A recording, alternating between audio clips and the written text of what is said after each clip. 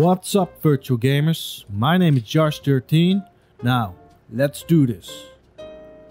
It's good to see you alive agent. That means you survived the first part of I Expect You to Die. As the thumbnail describes, this is a review about I Expect You to Die 2, called The Spy and the Liar.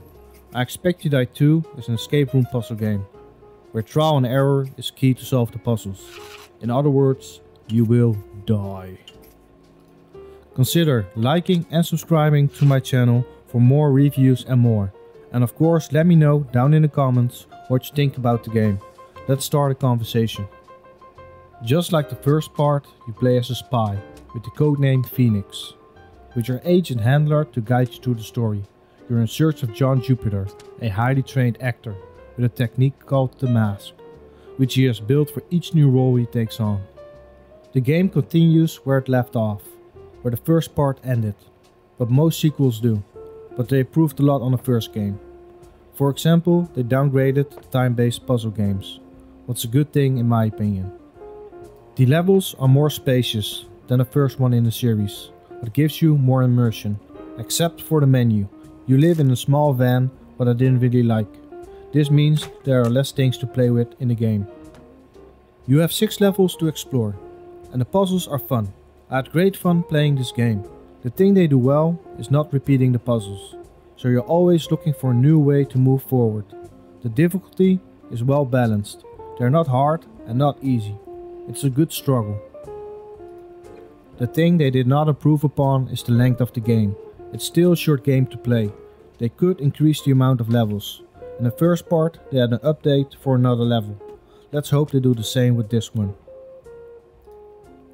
Graphics.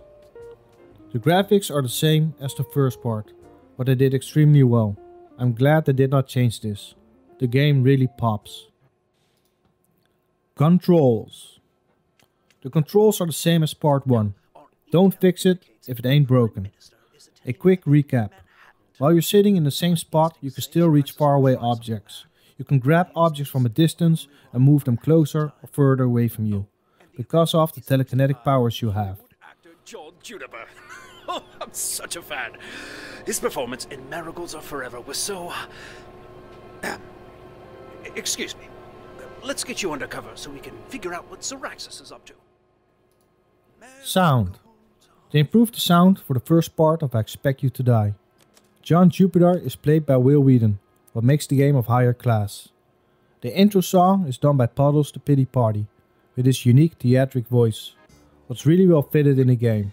Heck, he could sing the next James Bond theme.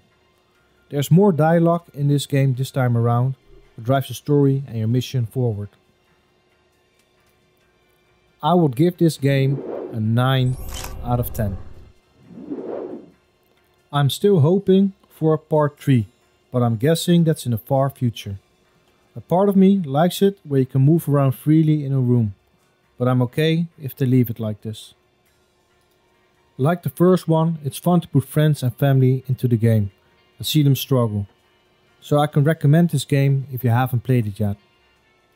I know I'm very late to the game, but I'm still practicing making YouTube videos, practicing for the PlayStation VR 2, and getting used to hearing my own voice back in videos.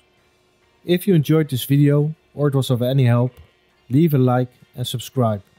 And if you want to have a conversation, leave a message in the comments.